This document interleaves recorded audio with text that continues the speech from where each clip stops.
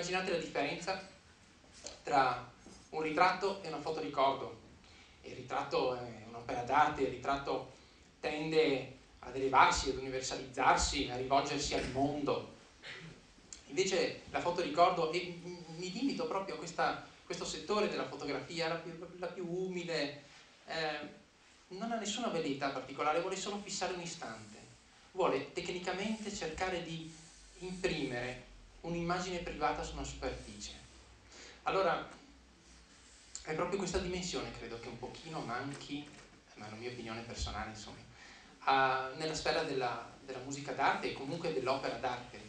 Non c'è spazio per il privato, perché qualsiasi cosa sia privata, nel momento in cui viene declamata da un attore, immaginate una recitazione, diventa appunto de declamata, diventa, si spettacolarizza, cessa di essere privata, in qualche modo si falsifica.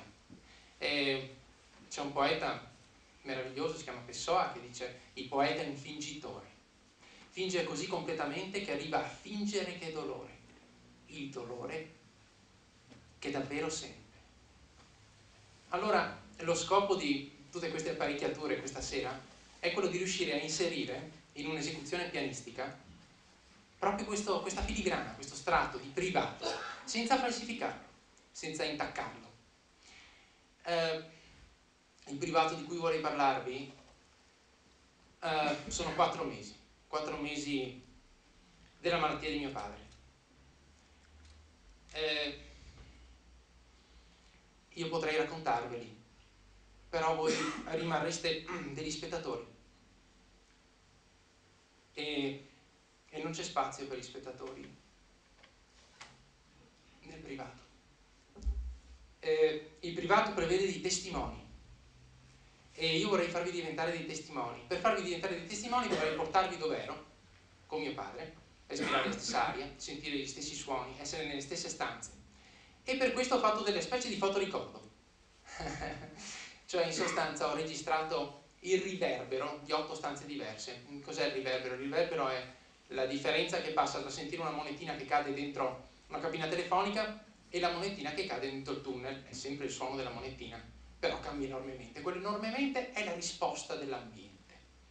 Allora, registrare un riverbero non è come registrare un suono, bisogna emettere un segnale, questo segnale insieme alla risposta della, della stanza viene fatto entrare nel computer, il computer fa i conti e isola la risposta d'ambiente dal segnale, quindi noi teniamo solo il riverbero puro e lo utilizziamo come filtro in tempo reale. Che cosa vuol dire? Molto semplice. Vuol dire che io suonerò il piano e quello che suonerò passerà dentro i microfoni in tempo reale, cioè nello stesso momento in cui avviene questo, voi lo sentirete anche dalle casse, in una normale amplificazione. Ma quello che sentirete dalle casse non è soltanto il suono del pianoforte, ma è il suono del pianoforte mescolato di volta in volta nelle diverse stanze, negli ambienti diversi di livello. Uh, queste stanze sono, sono, sono le nostre stanze, sono il soggiorno, la camera da letto, lo stanzino dove dipingeva, sono le stanze dell'ospedale e ci sono anche due stanze immaginarie. Eh, immaginarie perché non esistono, le ho ricavate semplicemente manipolando, un po' torturando. la voce di mio padre e il suono di un ascensore che ho sentito in chirurgia e per me ha un po' anticipato tutta la nostra vicenda. Eh, naturalmente vi domanderete adesso che cosa, che cosa, suonerò. Suonerò un pezzo di Schumann, si chiama Chrysleriana e la ragione per cui suonerò proprio questo pezzo viene dalla lettura di un saggio di Roland Barthes che definisce curiosamente la scrittura di Schumann una scrittura privata. Dico è perfetto, è perfetto per il nostro scopo, facciamo Schumann, però, però immediatamente salta all'occhio un'incoerenza Barth dice che la scrittura di Schumann è privata. La mia domanda è come, come riesce Schumann a scrivere qualcosa che riesca a rompere questa tendenza dell'arte ad elevarsi, a levarsi di torno questo strato privato. Ci riesce perché mette il dito sulla piaga, riesce a rompere una caratteristica del brano che permette al brano di, di licenziarsi dall'autore, dalla propria epoca, cioè attacca l'autonomia della forma.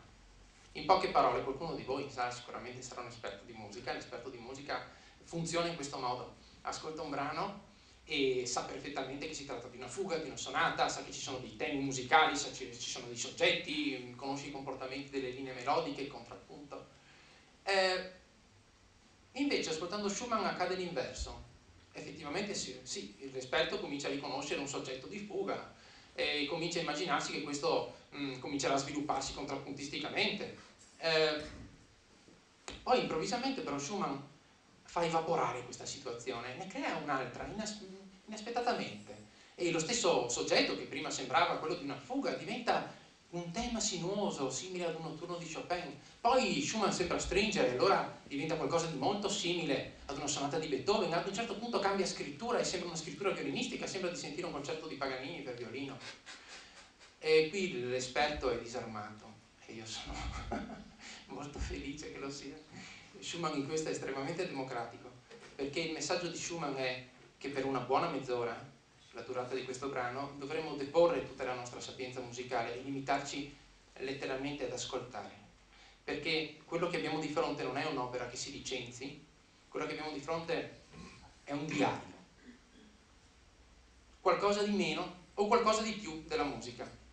Perché è la libera immaginazione musicale di Schumann è il flusso dei suoi pensieri, è come vedere battuta dopo battuta ricordi, tinte, colori, citazioni. E tutto questo non va capito, va condiviso. Per cui mh, mm, sullo stesso palco non troviamo semplicemente due mondi musicali diversi, quelli della musica classica e quelli della musica elettronica troviamo due forme di privato diverse.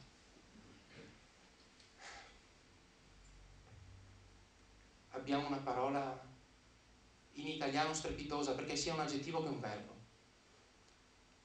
Come aggettivo parla di qualcosa di molto personale, privato. E come verbo privare ci dice di qualcosa che ci viene tolto. Quindi adesso ascolteremo del privato ciò che è intimo e ciò che è sotto.